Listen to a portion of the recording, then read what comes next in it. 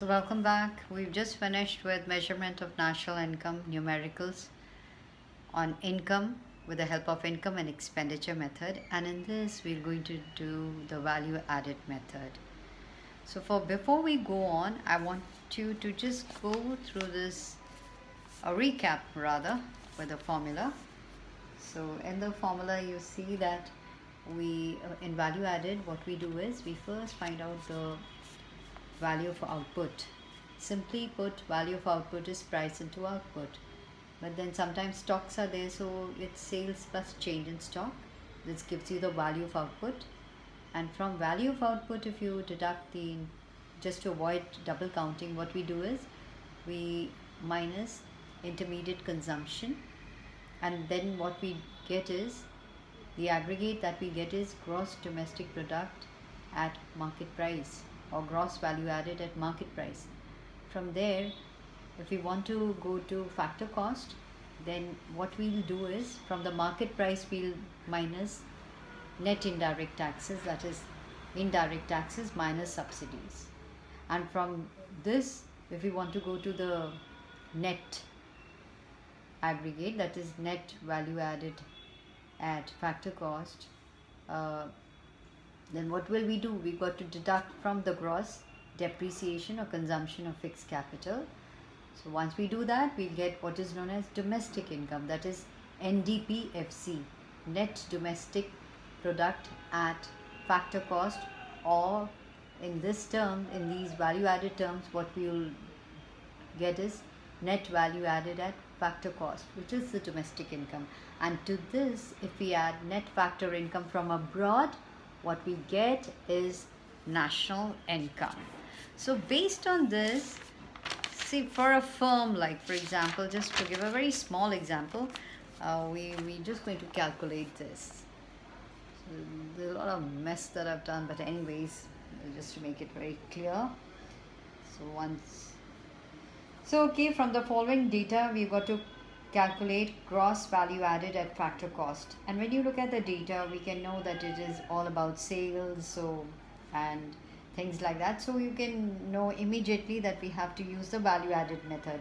Because yes they have given us rent and profits but nothing else from the income method. So it is a, it is a numerical in which we are going to use the uh, we'll come to our solution with the help of value added so for this, what do we do is sales plus change in stock, 1 plus 4 minus purchase of raw material. Minus 5 and then what do you do? Once you get that what will happen?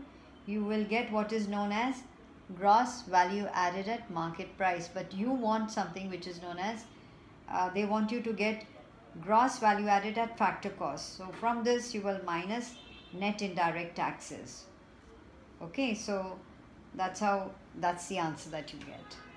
All right so there's another numerical that we can just um, based on a statement sum like how do we go about it? Uh, you can just uh, have a look uh, which I'm going to again explain. This is again this I've taken from the NCERT book of mine.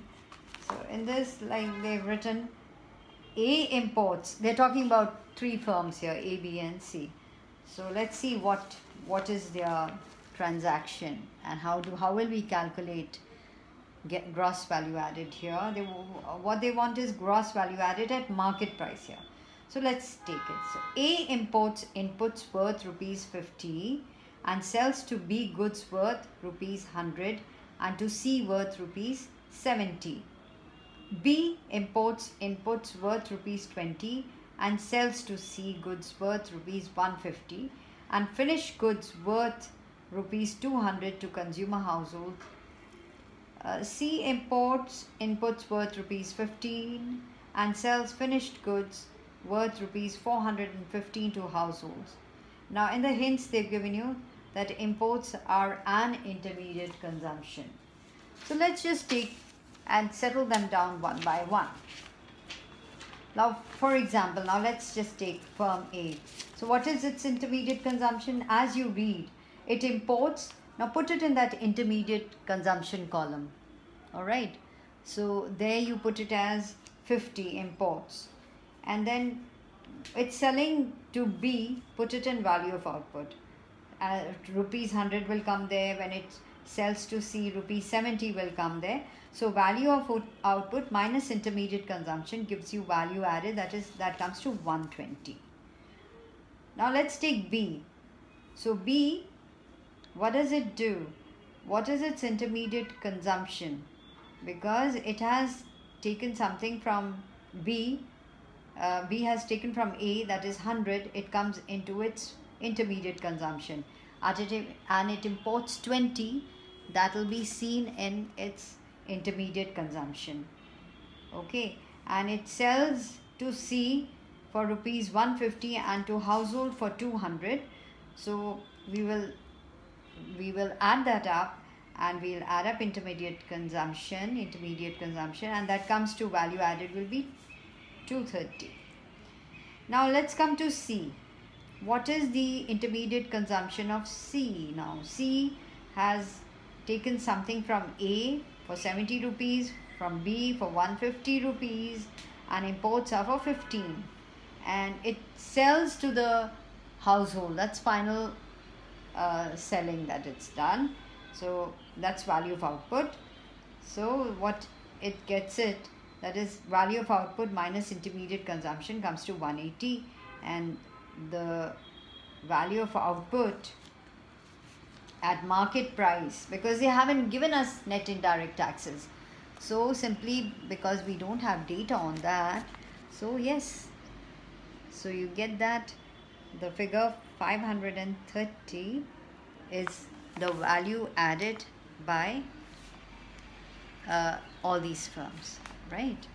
So that's how it becomes. You it becomes very simple when you you segregate it into value of output what, what was the value of intermediate consumption and the difference between the two will give you what is known as value added. Thank you